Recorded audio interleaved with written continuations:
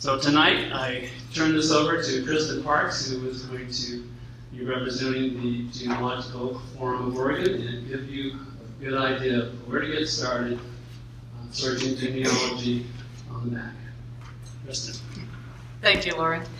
Um, I'm not sure how many of you have dabbled in genealogy research. I see a couple of people, so a few of you the principles of genealogy research are not unlike any other kind of research, uh, especially historical research. The idea is to find quality sources that address the question that you want answered.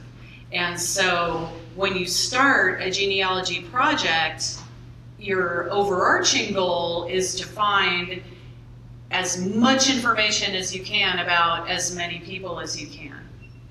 But when you actually start the projects, you want to begin with a very measurable goal. So when I started, I started with both my husbands and myself, and in, rather than saying, when did the Parks family come to the United States, no one knew. Well, okay, honey, what's the farthest back ancestor you can remember? My grandpa. Okay, let's start with great grandpa then, and we can work our way back. So you start with a goal and you think about any type of paperwork that could have been generated by your ancestors. So now, nowadays, there's paperwork, and a lot of it is electronic paperwork. Uh, pretty much, we can't do anything. We can't. We can't even get a cup of coffee without generating paperwork. But back in the day, that wasn't really so much true. Um, the types of paperwork that were generated tended to be uh, some of the big events and frequently dealing with money and uh, marriage records, money, uh, birth records, eventually money, death records. Death certificates didn't really didn't start appearing, especially here, until well into the 1900s. But you better know that if there was property and money in the estate of the person who died, there's a probate probate record somewhere. Now it may have been destroyed, but there was one generated, and that's actually what began the court system in the state of Oregon. Was somebody rich died, and they needed to adjudicate and settle that that's that estate, and so. Some of the reasons that people will do their family, maybe they have missing information in their family. There's an adoption in the family, there's a separation, whether it's a divorce or an early death or a family feud or something that nobody will talk about. That when the kids say, Mom, what about this? Oh, hush, go play. Here's a piece of chocolate, don't bother me. Um, another reason that kind of catches people's attention when they're researching is there is a family legend, there's a mystery that thing that everybody talks about, but no one can quite prove the Cherokee princess. Or my mother in law is convinced that because her mother's maiden name, no, her father's mother's maiden name was James, that they're related to Jesse James. That's their family legend. So um, sometimes you want to prove that something is either right or wrong, and you would be amazed at how people really latch on to these unsupported factoids, and there's just no reaching them um, if you disprove it. Uh, some people really want to make connections. Our modern society is getting more fragmented. People move with jobs and for the you know for whatever reason and they want to meet their cousins they want to find out who they are and they remember vaguely when you know when i was when we were five years old we'd meet with these cousins for thanksgiving and now i don't even know their names um, so it is a way to kind of deepen your connection with your extended family or maybe you just take pride in being irish or pride in being german or pride in you know your you know ethnic or cultural history and it's a way to research and to find out where in Ireland are you from? Where where are you from? And um, then sometimes it's just plain curiosity. It happened with me. My fifth grader had a social studies project. Mom, we need a family tree. Ancestry's free for 15 days. So we got on Ancestry and created our three generation family tree, printed it off. She got an A in her class, and I just could not leave those shaky leaves alone. For those of you who have done re- genealogy research, you probably know what I'm talking about, and anyone who has a touch of OCD probably knows what I'm talking about as well.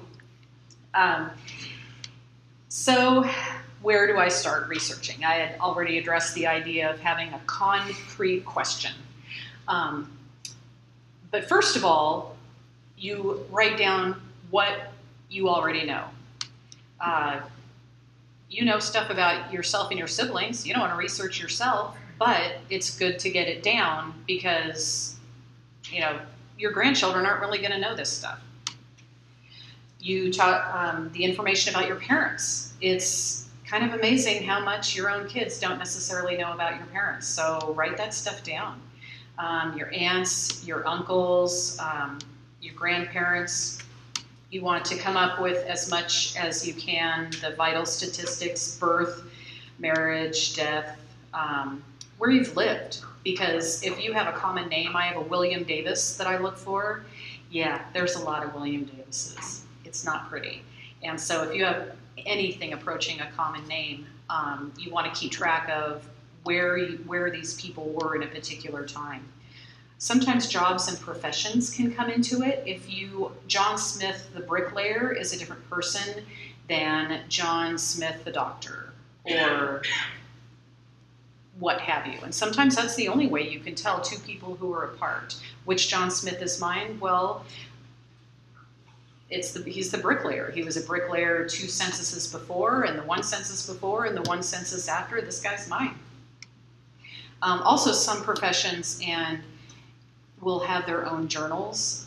Like uh, even on Ancestry has a da- database for um, retired medical professionals, retired doctors. Uh, there are alumni magazines, and this brings us into schools too. There are alumni magazines. There are some towns are very um, proud of their college students that reside in that town, or maybe the town that you came from, and they'll run articles about, oh well, you know, John Smith went to Portland State, and they'll talk about those kinds of things in ways that you can document later.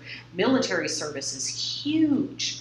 The things that I have found in Civil War pensions or um, I found when I was at the National Archives in Washington, D.C., I found a medical file for a Civil War veteran who was admitted as a patient to the Veterans Hospital in Los Angeles and in that facility, and he had a file this thick and it was all now I knew more about the man's blood pressure than I ever really needed to know. But it also talked about where he had lived in the last 20 or 30 years. And it gave specific information about his first wife, and I wasn't even sure, I wasn't even certain he had been married a first time. And so records like that, military service records, can really fill in, fill in gaps it, even if you're not a member of the military, if you had a family member who was a member of the military, it can really fill in some gaps. Um, okay, I have a lot of stuff. Can't just write it on a cocktail napkin. You can build a family tree online. Uh, there are several reputable companies. Uh, family Search is run by the LDS Church, and they are huge. They have so many people who contribute. Ancestry is another huge one. You can build your own tree. Uh, MyHeritage is kind of a new one, but they are really coming up fast. Uh, there's also Find My Past, and then there's another one called WikiTree. And I'll, I'll talk about all of those in a little bit more detail in a minute. Um, offline software. By the way, my son did tell me offline software is by definition offline, and so he thought I should change that, and I didn't. Um, what's that? 23andMe.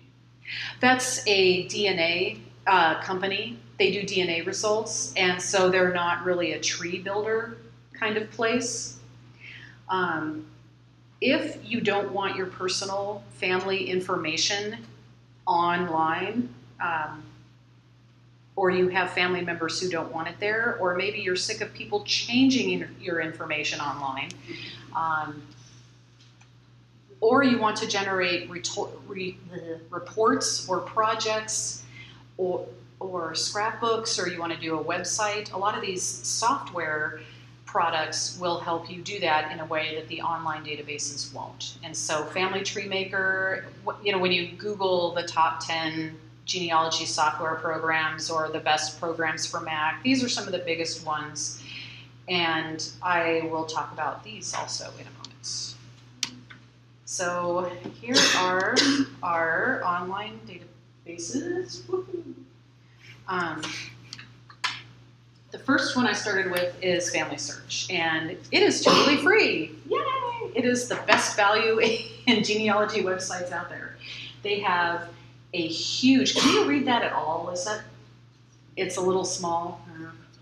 Um, they have a huge collection of records. They've been microfilming records all around the world for decades. Uh, their searchable databases are not as, they don't have as many searchable records as Ancestry, but they have just a huge collection of essentially online microfilm that you can go in. And if you want to look at the deed book for Johnson County, Illinois from 1872 to 1876, they probably have that. And you can go in and you can turn the page by page by page until you find what you're looking for. Or you can go in and look at the handwritten index of deed books from 1871 to 1885 in Johnson County, Illinois. Um, and you can try to decipher their handwriting. That it's there. It's not always easy to find, but there's a lot there. Um, they have a very thorough research wiki, and I consult that so often because I don't know off the top of my head when Kansas started keeping death records statewide. I, that's always something that you want to look up because you don't want to spend half an hour looking for a death certificate for someone who passed away in 1895 and they didn't start keeping statewide death certificates until 1906. That you just, sometimes you just, you spend a little bit of time up front to save a lot of time at the back end. Uh, they do have a mobile device app that you can use that's free. Um, one drawback is there's only one tree allowed per account. So if I want to do my family tree, I do it in my account. If I wanted to create a separate account to do my husband's family tree, I would need to create one for my husband and then log in as him. So, you know, it, it, and the accounts are totally free. And I've never been spammed. Uh, there is no branded DNA test. That Family Search doesn't do DNA tests. And part of the beauty of the DNA test is if you are fishing for cousins, and it's one thing that Ancestry does that I'll talk about in a second, is you can attach your tree to your DNA test. And if someone out there matches your DNA, then you can see where on the tree you guys match. And uh, they have a memories section where you can just upload photos, video, audio, that kind of thing, and uh, anyone can see it. Uh, family history centers are free to everyone.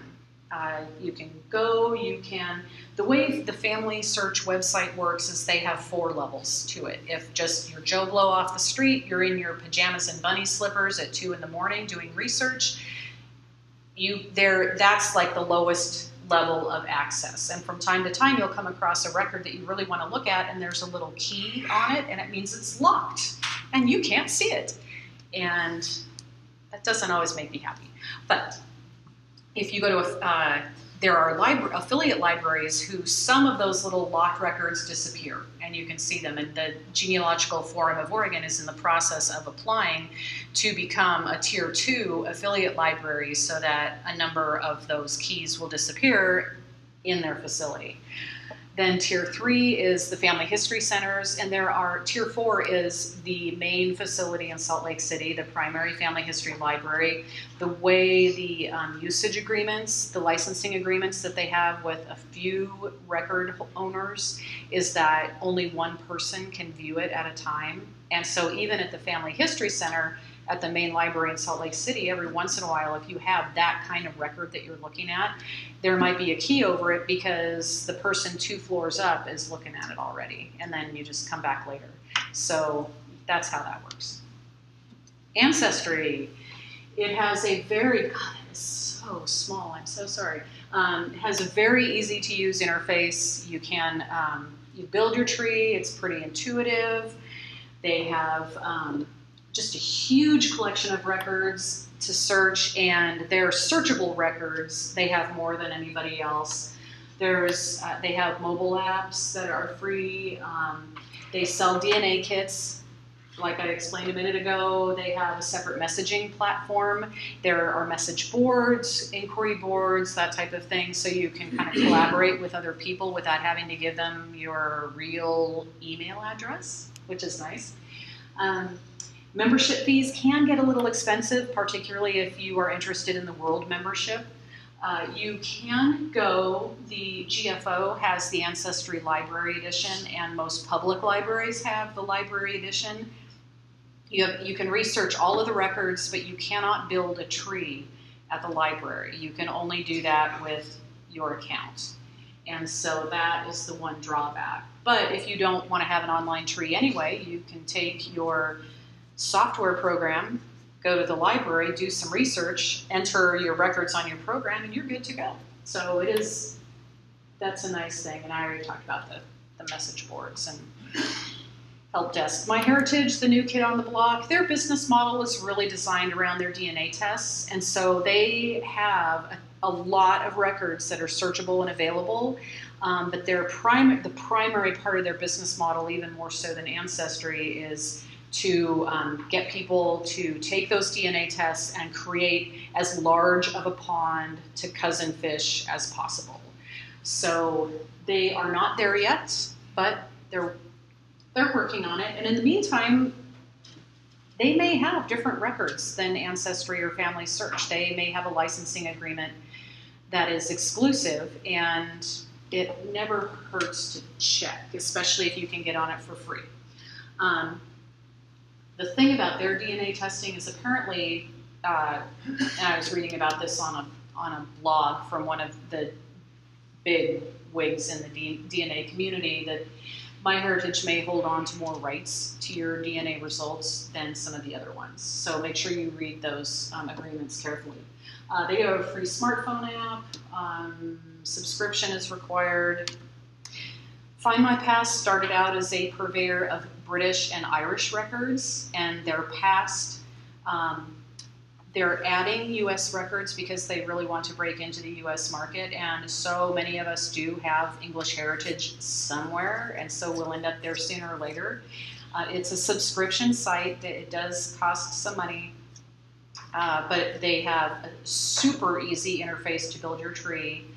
Um, and the thing that I love about Find My Past is they have the exclusive rights to the periodical source index.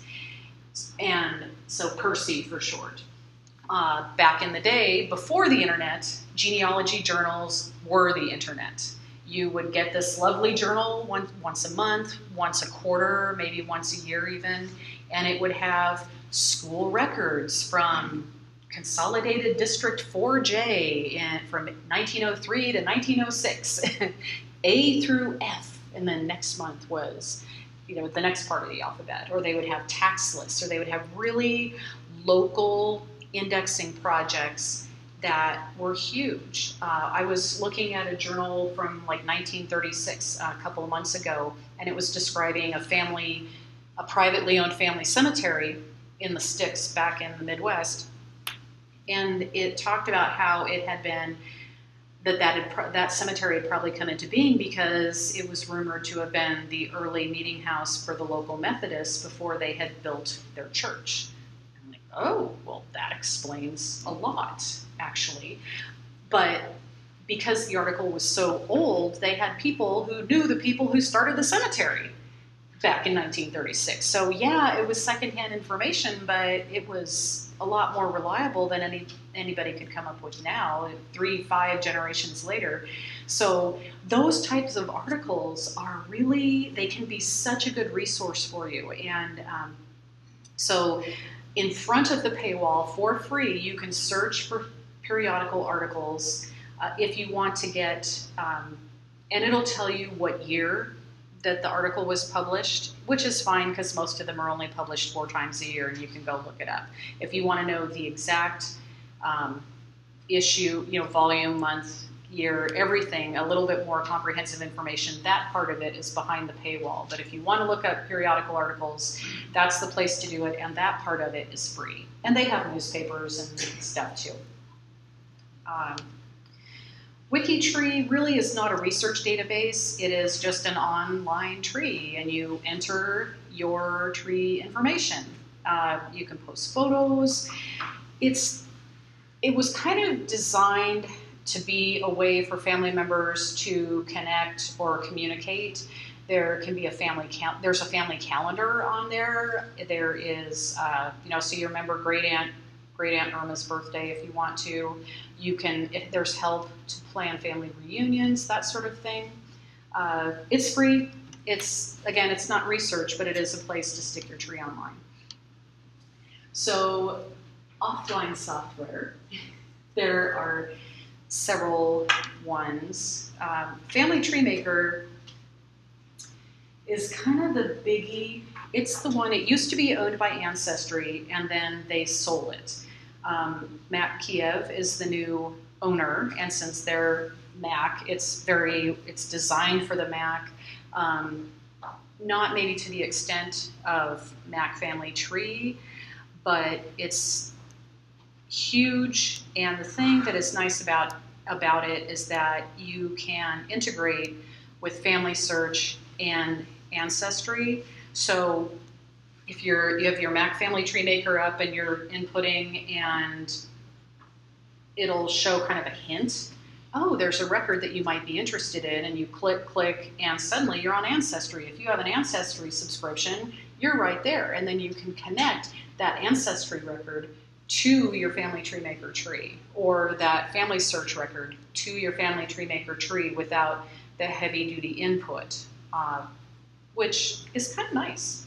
Uh, they you can sync the tree. You can invite other people to contribute to your tree if you want to, so that if another family member goes on a research trip, they can add stuff to it and it just syncs.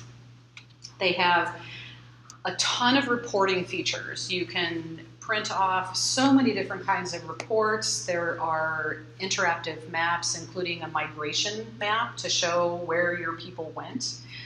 Um, and from where you can do timelines, there are charts and graphs, and you can do them in different colors, different fonts. You can show different things. It's uh, there's even a scrapbooking feature. So there's a lot of the reporting features that you don't get from you know Ancestry or Family Search. Um, at the GFO, we actually have two Family Tree Maker special interest groups. Uh, once a quarter, there is a beginning group for, you know, if you're just getting started. And then there's another one that meets most months, and it's more of a lab, and you can be pretty much any, pretty much any um, experience level. And some, I, from what I'm told, uh, they have, uh, sometimes they it's more of a group thing, and sometimes it's more individual, and they'll walk around. Have you been there? I'm the lab assistant. I Ah. facilitate that. Oh, okay. So yeah, So if people have Thank you. questions about that, that's strategy. yes. So talk to her about that. So that's a great program. Mac Family Tree. It was built for Mac. It interfaces with Mac better. Um, it there are uh, uh, you can get apps for your other mobile devices. Um, the charting, apparently, by the reviewers, several reviewers consider the charting abilities to be superior to Family Tree Maker. Um, and there are templates for publication, whether it's a book or a website, which is really nice. Um, it's integrated with Family Search, but not Ancestry. there's one called Heredis, and it was developed in Europe. And their main feature is that they have like their own family tree database that provides hints. So you don't necessarily research the records, but you have access to what up to other people's trees, what they think they, you know, what they think that information is. Um, and it is, it's much more since it started out in Europe, it's more European. So if you're looking for Philippine records, maybe that's not your first choice. Um, but it definitely is good for what it does. Uh, it generates reports, migration map, it has a, a slideshow feature, uh, there's a mobile app. Um, let's see. Oh, and the other thing, you can talk to Siri and make Siri do things, like tell Siri to input information on it, which I haven't used that feature, so I don't Uh, a couple of reviewers did say, um, oh, the GEDCOM file, which I haven't talked about before, that's sort of the universal format for genealogy. And so when you import or export, that's kind of how you how you transmit information from one place to another. So you can download your ancestry tree into a GEDCOM file and then upload it to your software program. And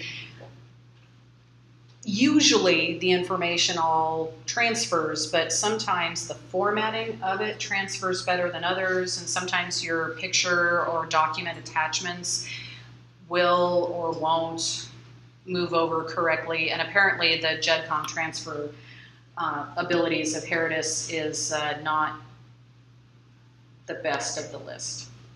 Reunion for Mac, it was made for Mac years and years ago. Um, one of the professional genealogists that I know who's been, who's at the forum, who's been a genealogist for years and years, she works on a Mac and she's used Reunion for years and years. And a lot of it is because it does have really also very good reporting features. And when you're a professional, it's not just knowing the information and seeing it on the screen, you need to report it in a way that makes sense to other people.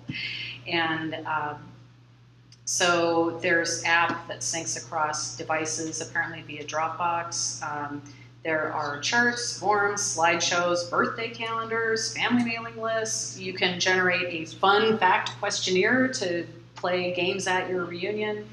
Um, you can uh, upload reports to your website. It integrates with Google Maps.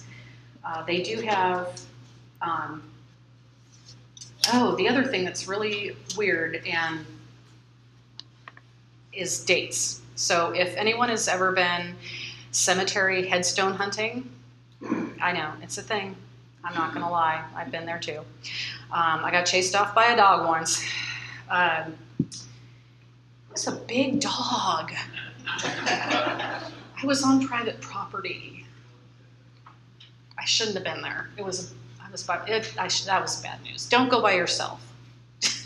if you're on private property and you're headstone hunting in a private cemetery, don't go by yourself because when you text your husband, oh, I'm about to go to this cemetery, so if something happens to me, you'll know where to start looking.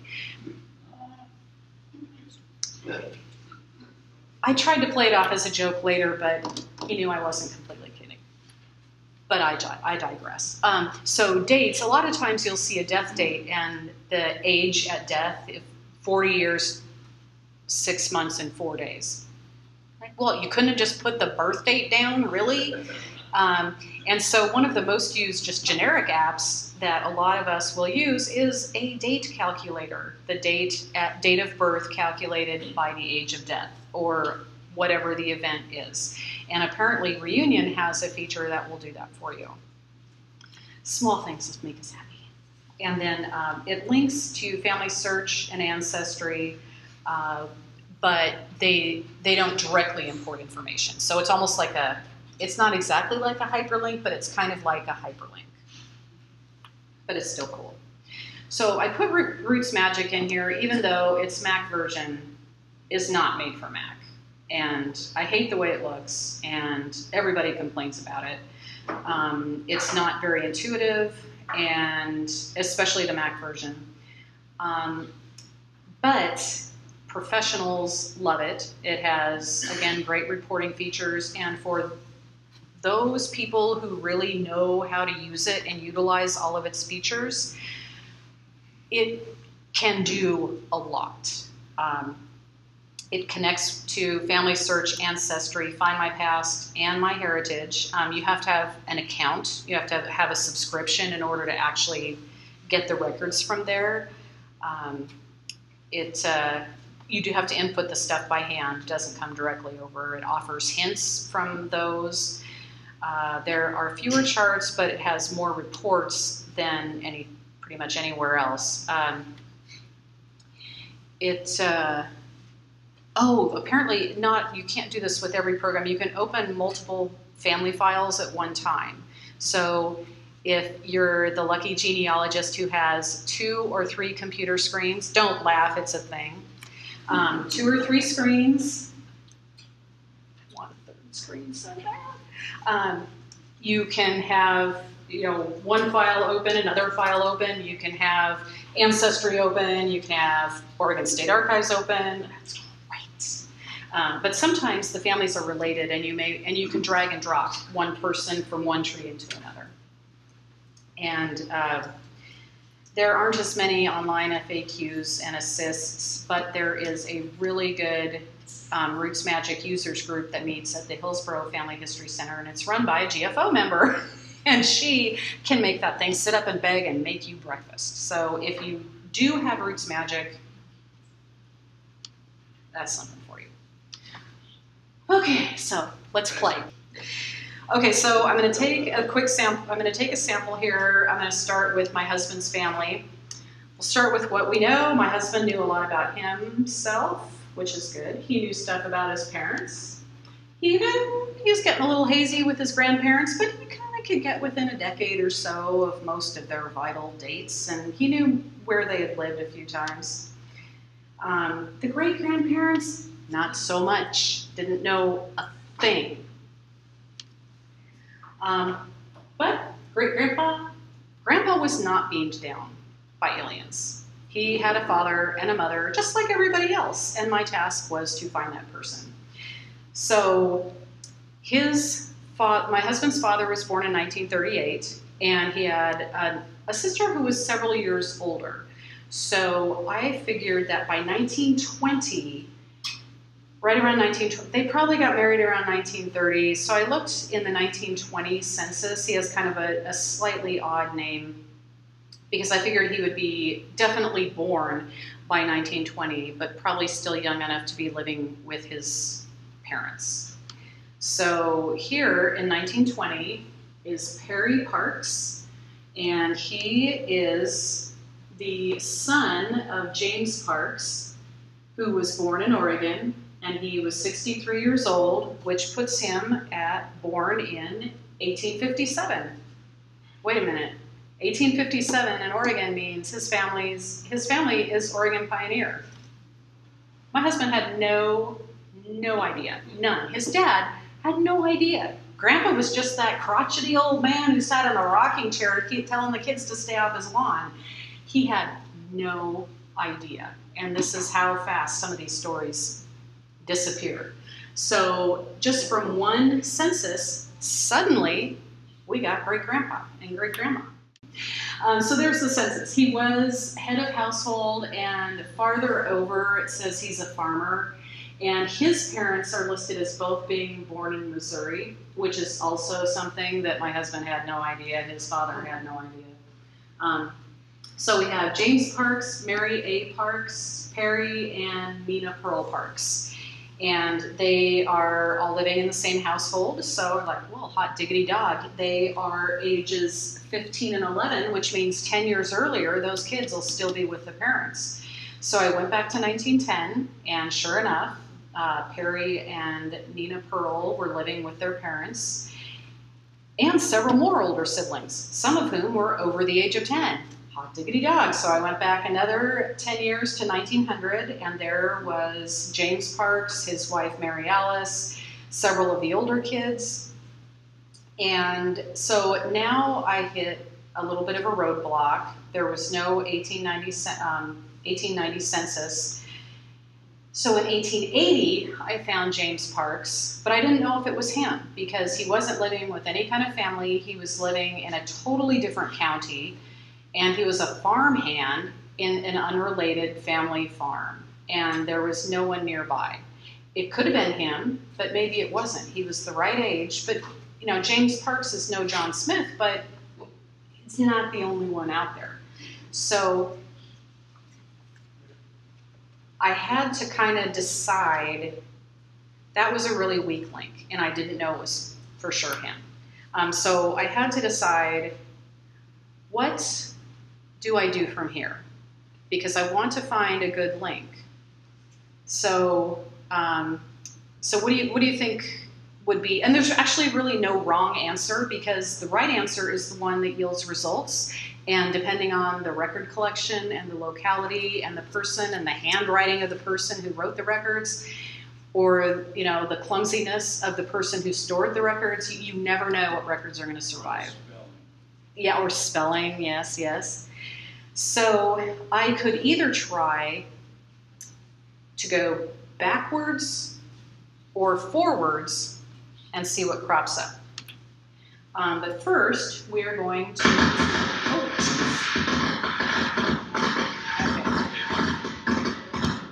okay. okay, I'm going to stop that. Those were actual fireworks. There was not supposed to be any sound. Um, that was was supposed to be the bright, shiny object. and it's about the 1890 census. And it was in storage in some random building because the National Archives hadn't been built yet. And, um, and the facility burned. And all of the population, well, there are fragments in a few states, but a lot of, maybe 90% of the population schedules burned.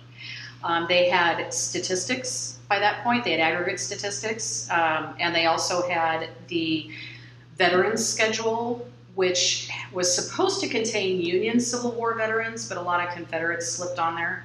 Um, so, and it was also, fun fact, was the first, the 1890 census was the first time that they really used machine tabulation for the statistics.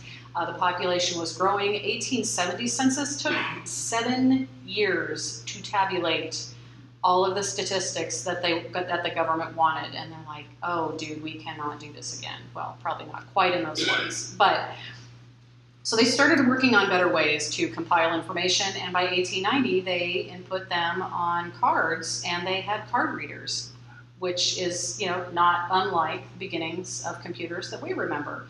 Now, this time it only took them six years to tabulate the results for a lot more people, and they came in under budget. So we do have the statistics. Yes? Yeah. The census employee who came up with the cards, his last name was Howard. They're called Howard Cards. Mm-hmm. And he went on and found a small company that turned into International Business. Oh, so IBM was started by the census employee who, Uh-huh. or co-founded. his research on the government time and made money off of it. Ooh, good for him. So back to this. When you are on shaky ground, go somewhere else and come at it from a different angle. Um,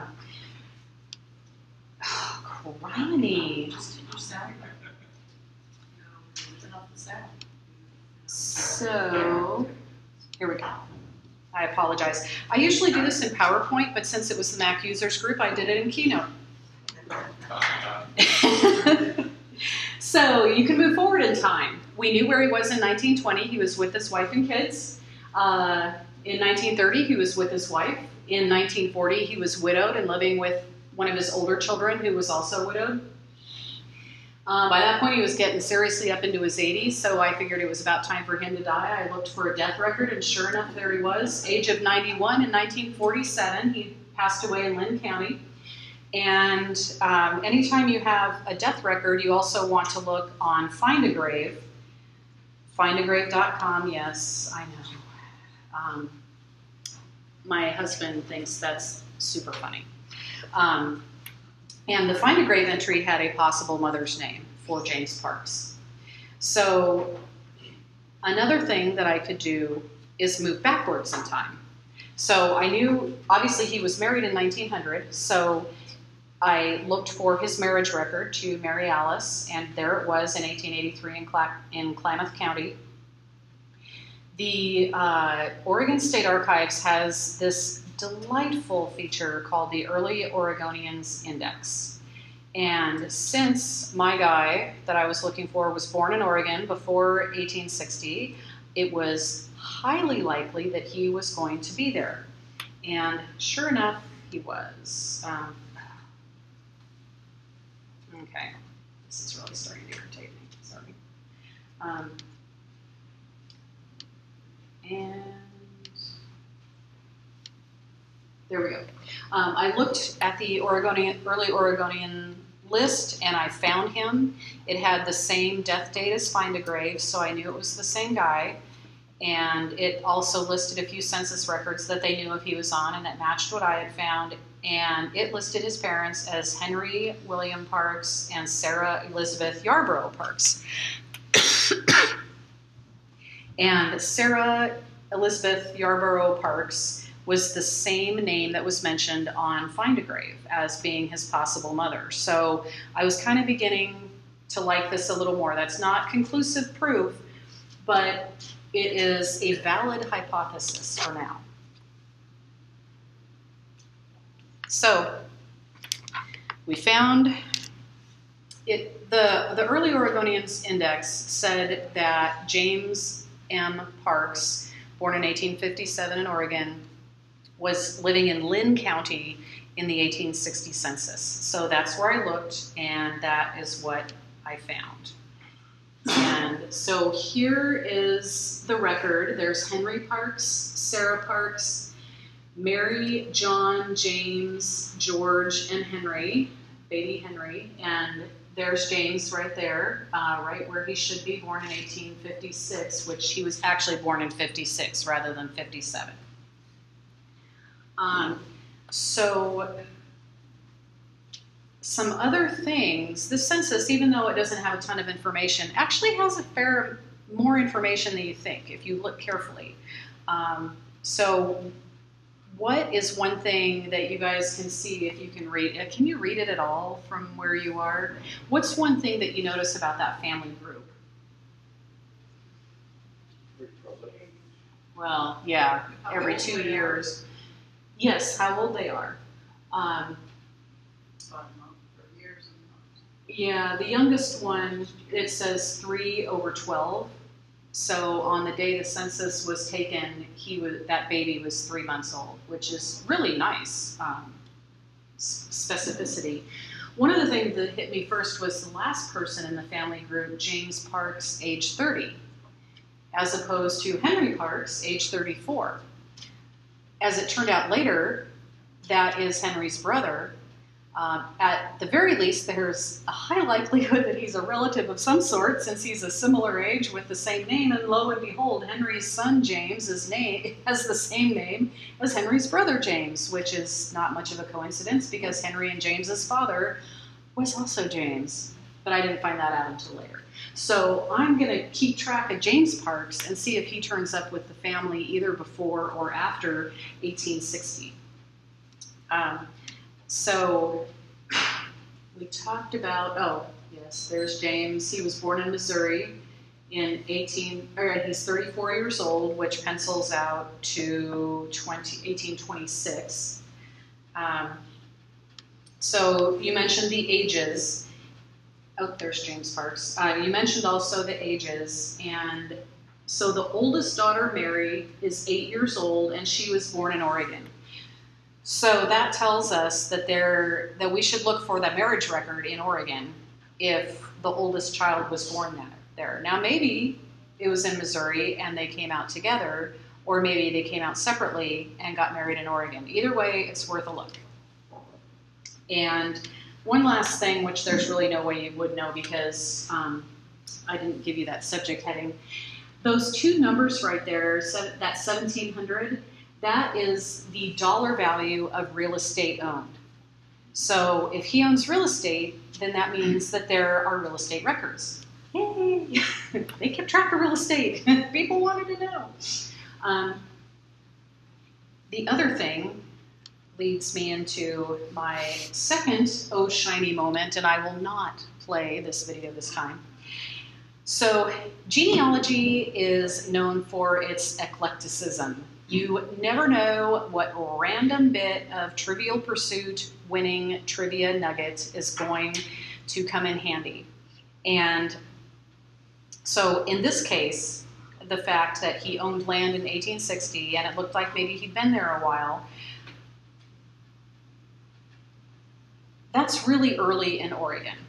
And Oregon is, uh, so I knew that I should, one of the places that I needed to look for records, for real estate records for him, wouldn't necessarily be the county deed book, but it would be the federal government. That perhaps he was, perhaps Henry Parks was an original owner, and they called, um, and that maybe that information would be available on the General Land Office uh, from the Bureau of Land Management website. They have a website that has first owner information. And so um, he, it turns out that Henry Parks purchased land through the Oregon Donation Land Claim Act of 1850. And what that meant, it was really specific. They were trying to get kind of a homestead act. And um, going, but because of the whole slavery question, that was kind of tough. So, for people in the Oregon Territory, which is Oregon, Washington, some Idaho, and, and all of that, not just modern Oregon, um, if you lived in the Oregon Territory by December 1st, 1850, and you lived, so you could put in your claim, if you lived there continuously for four years and improved that claim, you could have that land for free. Now, it wasn't perfectly free because you had to pay like a registration cost and, and whatnot, but it was essentially free. Um, you had to be, um, if you were unmarried, you got 320 acres and you had to be 18 years or older. You had to be a citizen of the United States. And uh, if you were married, you were eligible to have 640 acres. And what was really different, and one of was that they were early an early adopter for this. Half of the land went in the husband's name, and half of the land went in the wife's name, even though she was a married woman. And typically, at that era, married women did not have separate property except under very rare circumstances. Um, so that was uh, the other thing that was nice about the Donation Land Claim Act, which uh, was different than most other first landowners and people who bought land from the federal government, there was more paperwork. Yay! There had to be an affidavit. They had to attest to their citizenship status, when they were born, where they were born, if they were married, what their wife's name was, when they were married, where they were married. It was awesome. And the Homestead Act was even better, yeah? Do any of these programs have access to Polk City Directory Guides? They're a great resource in the 1800s. Yeah, the um, the Polk City Directories, uh, the Genealogical Forum Library has a ton of them in this area. Ancestry has a lot of them. Family Search has a lot of them. It's really catch as catch can. The local libraries tend to have uh, city directories that are really old for the, for their localities. It's not as good as if you, if you're doing rural research. It's the the collections aren't as good because they didn't no one wanted to go out there and, and get the farmers' information. They were too scattered. Well, I, I accessed some of these in uh, New York City Library, Magnet Library, Yeah, 1844. My great great grandfather was listed as a physician 144 Street. Well, that's a big federal building now. yeah. Well, if you do find your ancestor in, They digitize these things, and I looked them up a couple of years ago. They had no record of yeah, they, um, what they do, they digitize, they OCR it, which since they're typed is good because the OCR tends to be a little bit better. Um, and they will have, if they live in a city or a town, they'll have a street, a name, uh, a profession, that sort of thing. But my point was, they're when they digitize these things, and make the record. So, GLO Records is the BLM database, and HistoryGeo is a subscription website that kind of superimposes the information, like the first landowner information, over modern locations. Um, the state land states are not in purple, and they're largely pre-revolution states. And if you wanted to own a farm in, say, Virginia, you had to purchase it. Land was owned by the crown. It was granted to uh, to special people to sell. Uh, if you wanted land in Pennsylvania, you may have gone to William Penn or his associates, and um, so that that system is a little bit different. Fortunately, the purple land, the purple states are federal land states, and they sent federal surveyors out to survey the land and set up the rectangular grid system that we're all familiar with.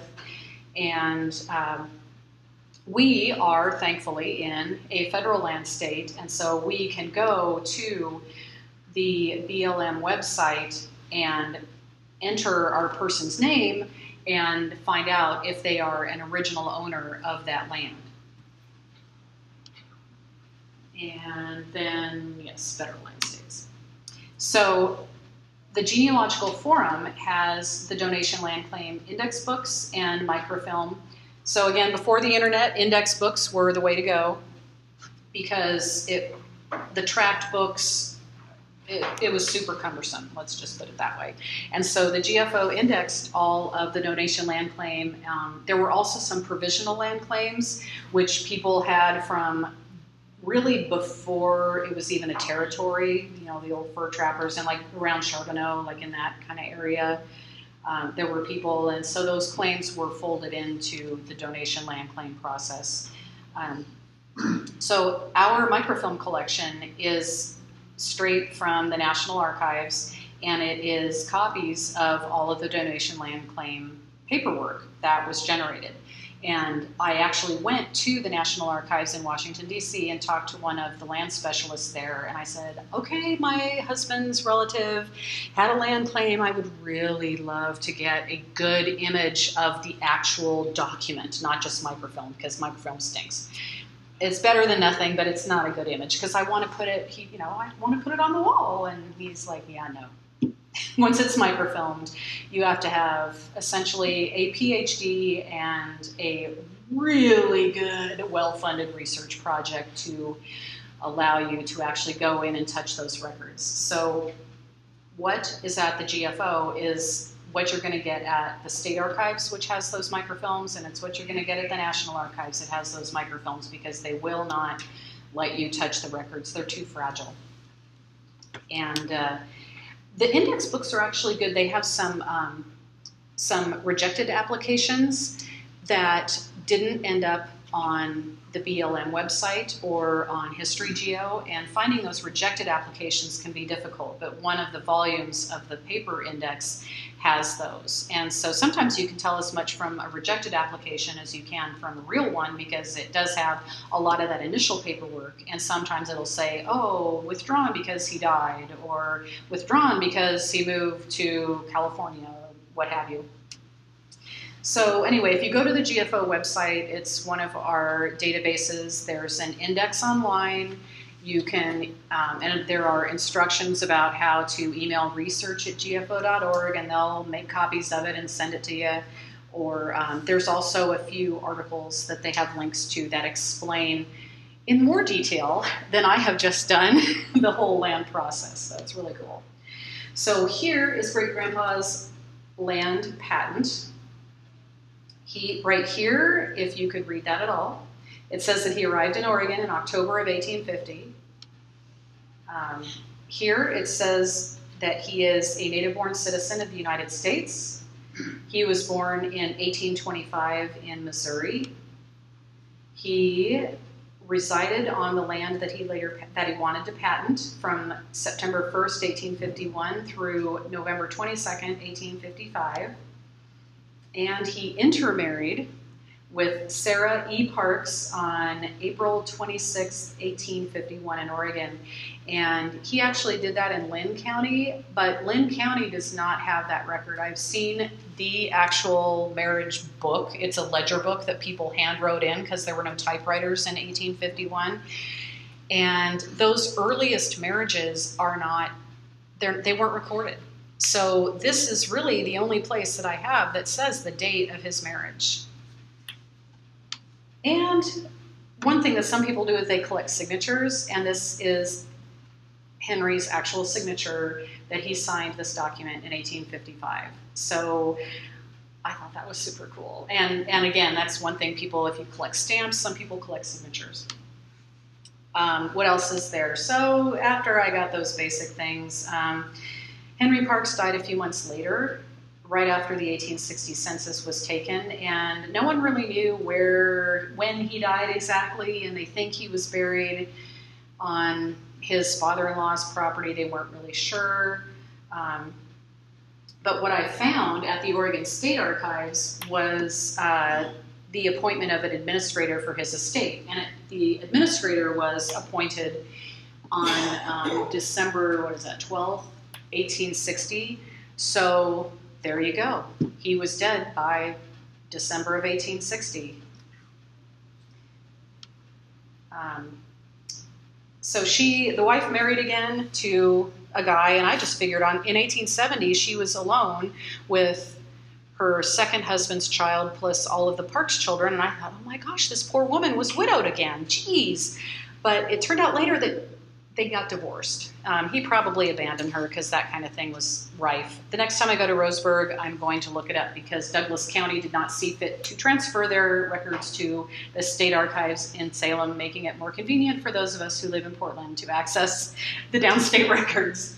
Um, and I found that in a journal, an old journal from, I don't know, 20 years ago, and it had a listing of the court dockets from newspaper gleaned from newspapers. And i mean these are the kind of lists they have in these journals these really random things. And so it's it said as of august 1871 one of the items on the docket for that month's court was the divorce of sarah bowman from john jacob bowman. I'm like wow i guess he got divorced then.